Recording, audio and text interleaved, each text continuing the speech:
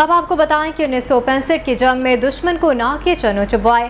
لاہور پر قبضے کے خواب خاک میں ملائے جنگ ستمبر کے ہیرو میجر عزیز بھٹی کے اہل خانہ ان کی قربانی پر نازا میجر عزیز بھٹی کے صاحبزادے ظفر عزیز بھٹی کے بیٹے سے ملوا رہی ہیں لاہور سے روبا عروج شیروبا عروج۔ جی بالکل، ستمبر کا مہینہ ہے اور ان شہدہ کی یاد تازہ ہو چکی ہے جنہوں نے اپنا لہو دے کر ہمارے ملک کو بچایا، ہمارے وطن کے لیے آج جس آزاد فضا میں ہم سانس لے رہے ہیں، اس کی بنیاد رکھی۔ اور اس وقت جو ہمارے ساتھ شخصیت موجود ہیں، میجر عزیز بھٹی کے بیٹے ہمارے ساتھ موجود ہیں، نشان حیدر، انہوں نے لیا تھا۔ یہ خود بھی میجر کے طور پر سرو کر چکے ہیں۔ اب کیا جو ہے وہ پاکستان سے کتنی امیدیں ہیں، پاکستان کے لیے کتنے پر امید ہیں، ان سے جان لیتے ہیں۔ سب سے پہلے تو یہ بتائیے گا کہ میجر صاحب کی یادیں ابھی بھی دماغ میں موجود ہوں گی۔ کس طرح سے مشل راہ بنی؟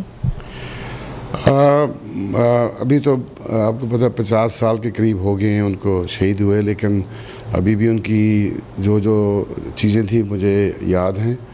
اور تفصیلاً ابھی اس کے اوپر بات آپ کو بتائیں گے جو بھی۔ اچھا یہ بتائیے گا کہ پچاس سال گزر گئے۔ آپ نے ان کے بعد کیسا محسوس کیا؟ دوبارہ آرمی میں آپ نے سروس کی۔ والدہ کی کتنی سپورٹ رہی؟ والدہ کی بہت پازیٹیو سپورٹ تھی اور انہوں نے کبھی نہیں ہمیں کہا کہ آپ نے نہیں جانا، بلکہ ہمیں وہ، مجھے تو انہوں نے خاص طور پہ کہا تھا کہ تم سب سے بڑے ہو اور جو میرے صاحب نے ٹریڈیشن سیٹ کی ہے، اس کے مطابق آپ کو بھی جانا چاہیے آرمی میں۔ اور ان کی ایڈوائس کے ساتھ ہی پھر میں میں نے آرمی جوائن کی۔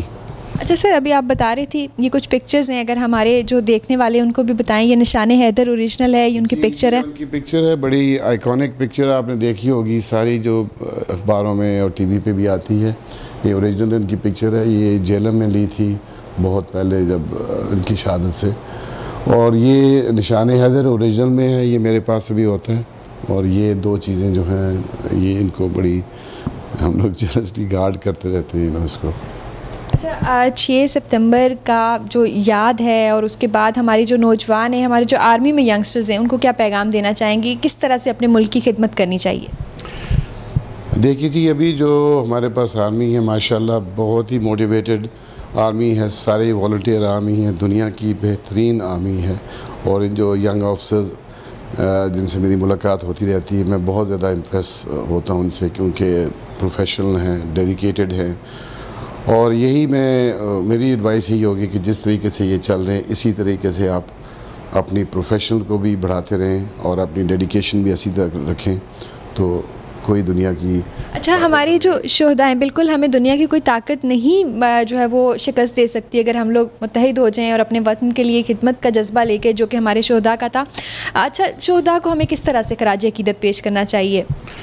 ابھی جس طریقے سے میرا تو خیال ہے کہ بڑی پاکستان کے اندر بہت ہی ہر سال آپ نے دیکھا ہوگا جب سے میں، مجھے ہوش ہے سکسٹی فائیو کے بعد بھی کہ بہت زیادہ اپریشیٹ کرتے ہیں، فنکشنز ہوتے ہیں، ان کو یاد کرتے ہیں۔